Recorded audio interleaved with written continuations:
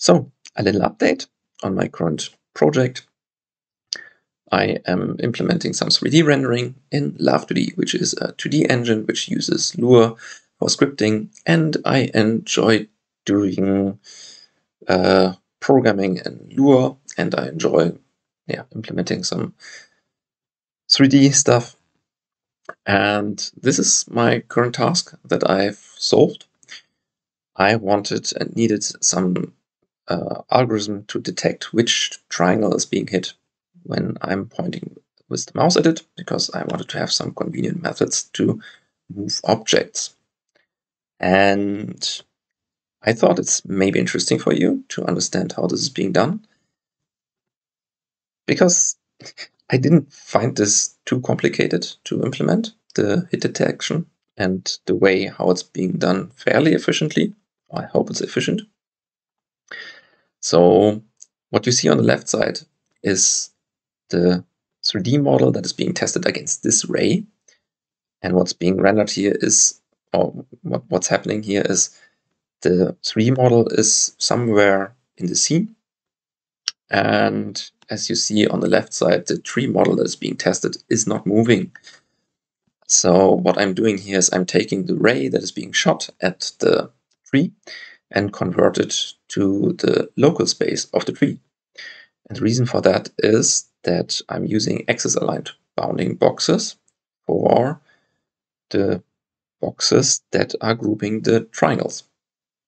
And the axis aligned bounding box test is being done most efficiently when the ray is yeah, in local space. So all the axis aligned bounding box checks can be done in uh, the simple coordinate space for the bounding box.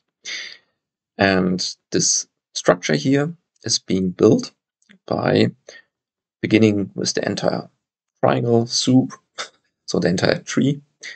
And you can imagine that the box would look like this, this huge. And then it's being bisected in some hopefully good coordinate. And in this case, it starts with a vertical slice, so top and bottom, and all the triangles that are below the bisection plane are put into the bottom box.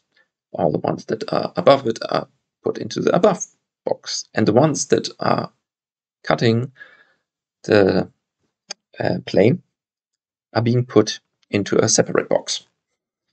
The box where nothing fit in. And then the process is being repeated with each uh, box that was being created, and therefore a hierarchy is being created, which is useful.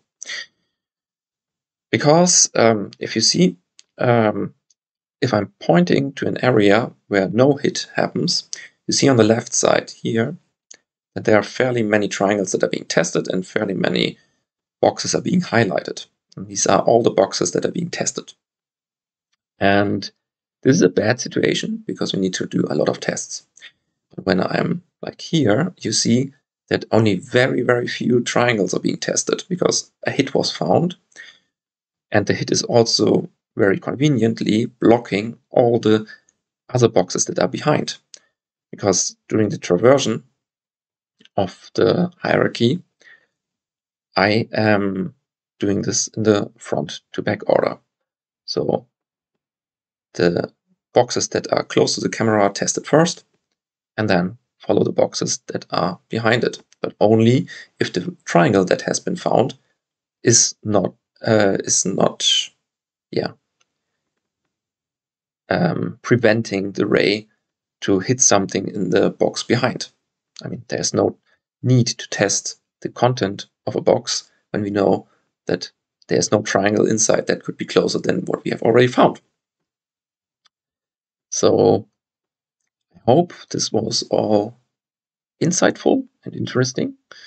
Um, as I said, I I'm reinventing the wheel a lot here, but I enjoy doing that, and um, I find quite some joy in understanding how these basic things work.